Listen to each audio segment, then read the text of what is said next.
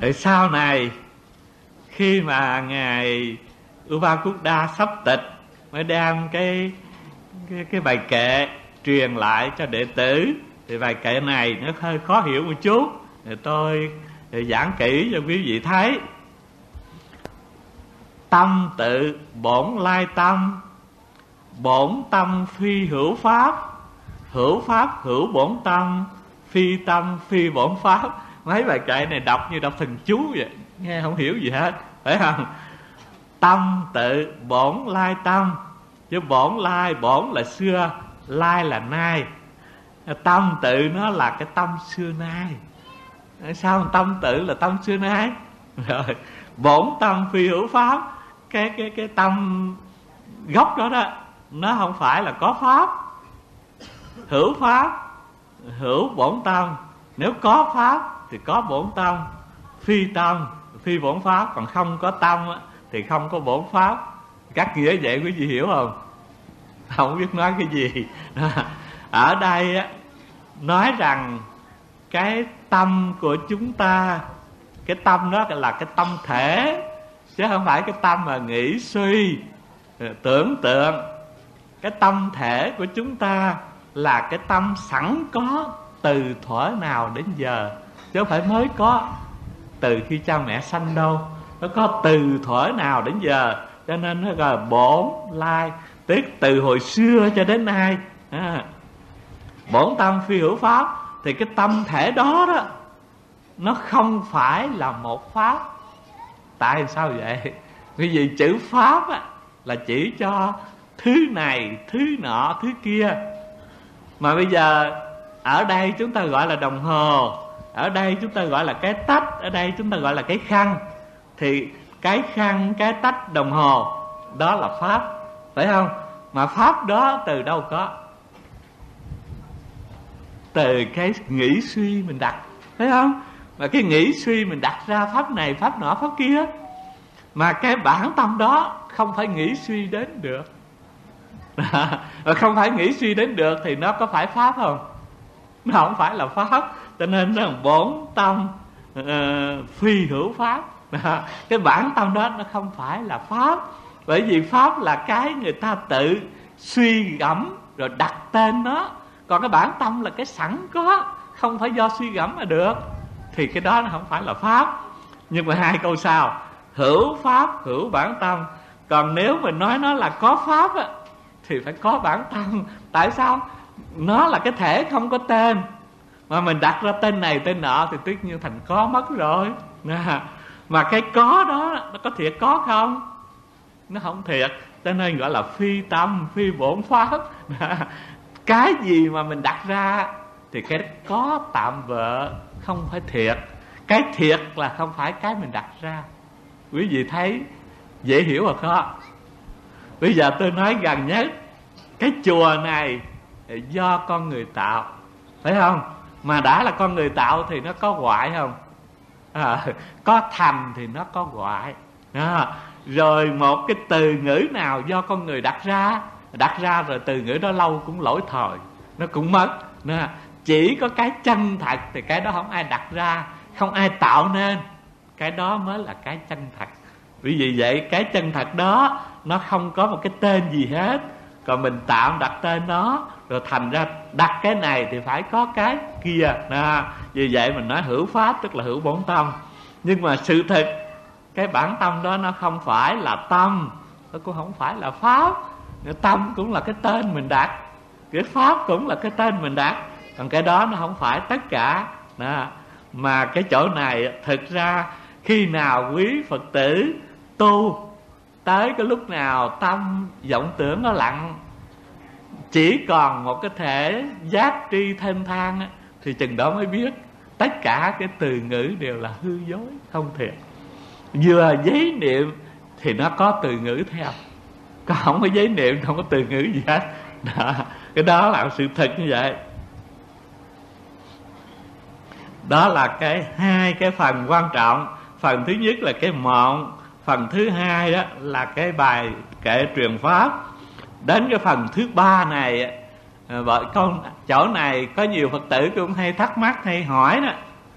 Hỏi mình tu tiên với tu phật nó hơn kém chỗ nào phải không? Đó, cái chỗ đó là cái chỗ mấy phật tử thắc mắc. Mà đa số người ở thế gian á người ta ham thành phật cái ham thành tiên. Tại sao ham thành tiên mà không ham thành phật? Bởi vì quý vị nhìn trên bàn thờ thấy ông phật quyền ngồi từ bi không nói rằng hết chữ ơn hết trơn á. Phải không? Còn coi mấy cái hình của mấy ông tiên thì sao? Nào đánh cờ uống rượu đánh nhạc đồ đủ thứ hết. Vui quá. Cho nên nó sướng như tiên chứ không ai nói sướng như phật hết à từ bi như phật nhưng mà sướng thì sướng như tiên. Phải không?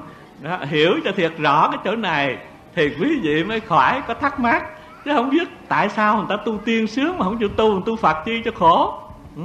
bởi vì phật là từ bi thương chúng sinh. Còn tiên á, là tu luyện để được có thần thông là tự do tự tại chơi. Phải không? Hưởng nhàn cho nên mới nói sướng như tiên. Còn phật bồ tát có sướng không? À, bồ tát thấy chúng sinh khổ rồi bồ tát cũng khổ cho nên lúc nào cũng lăn lộn độ chúng sinh, không có chán, không có mỏi, đâu có được hưởng nhàn. Mà độ đầy đủ viên mãn mới thành phật.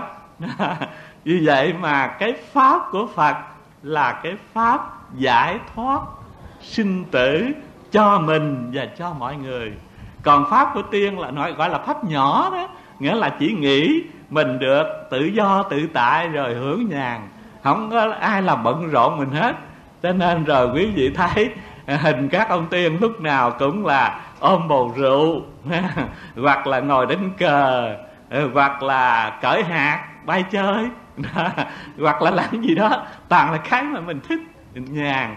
À, con người là thích sung sướng, phải không? Cho nên nghe nói tiên sung sướng cái thích, đó. Bởi vậy nên ai mà thông thả cái nói, người đó sướng như tiên thấy không? Chứ không bao giờ thấy người đó sướng như phật hết hiểu như vậy thì cái nào nhỏ cái nào lớn quý vị biết chưa? À, biết rõ rồi. Thì như vậy khỏi có thắc mắc gì nữa. Thì như vậy ở đây ngài di giá ca là một người lãnh đạo tám ngàn vị đại tiên. Thì quý vị nghĩ làm thầy tám ngàn vị tiên thì quá giá trị rồi phải không? Nếu như vậy đó, thì nếu mà người thế gian mình bây giờ mà được cái địa vị đó, gặp ai nữa có chịu chịu đầu phục để làm đệ tử không? Chắc không bao giờ chịu, phải không? Mình đương ở địa vị là một vị đại tiên lãnh đạo cả tám ngàn người, có thần thông đàng hoàng. Vậy mà gặp tổ thì khi mà nghe nói cái biết gì đó là người tu theo Phật, được cái pháp giải thoát, liền xin trở về chư Phật. Trở về Phật, tu hạnh giải thoát. Thì như vậy, quý vị mới thấy cái giá trị người tu Phật khác với giá trị người tu tiên ở chỗ nào. Chắc quý vị cũng biết rồi, phải không? Đó. Thì như vậy, cái quan trọng ở đây tôi muốn nói là ngài di giá ca từ một địa vị cao làm thầy thiên hạ mà hạ thấp mình xuống làm đệ tử của một vị tu sĩ Phật giáo. Đó là một cái cái phá ngã lớn lao của ngài. Cho nên từ cái đó rồi ngài mới bước vào đạo nó không khó khăn gì.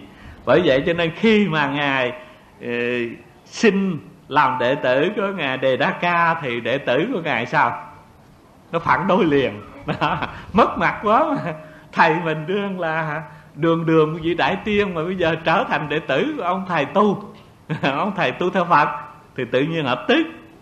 Đó, hiểu như vậy rồi mới thấy tại sao mà ngài di ờ, ngài đề đa ca lại dùng cái thần thông để mà Ờ, cho các cái vị tiên đó ờ, hết cái ngạo mạn ờ, trở theo phật. Ừ. Thì quý vị biết, nghĩa là thường thường cái khi quá độ thì phương tiện dùng thần thông, chứ còn không, bình thường không có dùng. Dù người tu phật có thần thông cũng không có dùng, còn các ông tiên thì hay dùng thần thông lắm vì bay đi ngao du mà. Lúc nào cũng dùng thần thông tử tại. Vì vậy cho nên những người mà mê thần thông đó thì thích đạo tiên hơn. Còn đạo phật dù có thần thông cũng không được dùng. Chỉ một hai trường hợp đặc biệt mới dùng thôi. Tại sao vậy? Vì thần thông là cái thường thường người ta nói thần thông biến quá phải không? Biến quá thì cái đó thiệt hay không thiệt? À, mà đã không thiệt thì cái đó gì quan trọng đâu. Phải không? Cho nên đạo phật là chủ yếu giác ngộ thấy được cái chân thực và sống được cái chân thật. Mà được với cái chân thật rồi nó mới không có hoại nó không mất. Còn cái kia thì cái biến quá khi có khi không. Được thần thông là lúc nào đó uh, sơ sẩy cái mất thần thông. Còn cái mình được cái chân thật thì không bao giờ mất hết. Do đó nên hai bên nó khác. Hiểu vậy thì mới thấy cái giá trị của cái cái lời dạy của Phật và của tổ. Đó là cái phần của tổ đề đa ca. Tôi điểm dài cái cái căn bản cho quý vị nhớ.